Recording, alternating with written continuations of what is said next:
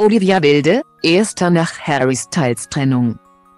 Noch ist nichts offiziell bestätigt, aber Beobachter und die US-Medien sind sich sicher, Harry Styles, 28, und Olivia Wilde, 38, haben sich vor einigen Tagen getrennt. Das angebliche Liebesaus hielt die Schauspielerin allerdings nicht davon ab, gleich wieder über einen roten Teppich zu stolzieren, in Los Angeles erschien Wilde bei den Governors Awards im Fairmont Century Plaza und schlüpfte für den besonderen Anlass in ein außergewöhnliches Kleid. In einem Mehrgegentüllkleid von Erde mit einer Schleppe aus Netzstoff posierte sie mit strengem Blick für die Fotografen. Ihr glamouröses Ensemble vervollständigte Wilde mit durchsichtigen Opernhandschuhen und dezenten Perlenohrsteckern. Die Ex-Verlobte von Jason Sudeikis, 47, ließ sich nichts anmerken und lächelte professionell in die Kameras.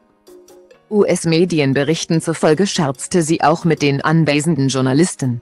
Zu einem Kommentar zu den Spekulationen ließ sie sich allerdings nicht hinreißen.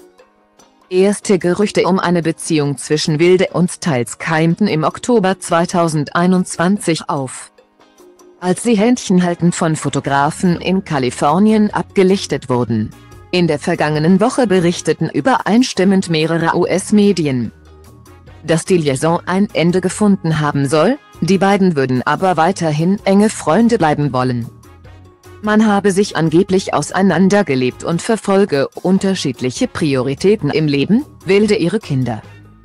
Styles seine Karriere die Initiative der Trennung soll allerdings von Styles ausgegangen sein. Erst im September feierten Wilde und Styles ihr Red Carpet Debüt im Rahmen der Filmpremiere von Wildes Streifende und Very Darling im italienischen Venedig. Wilde ist Mutter von zwei Kindern, Tochter Daisy, 6, und Sohn Otis, 8. Vater der beiden Kinder ist Ted Lasso-Star Jason Sudeikis mit dem sie insgesamt rund zehn Jahre zusammen war.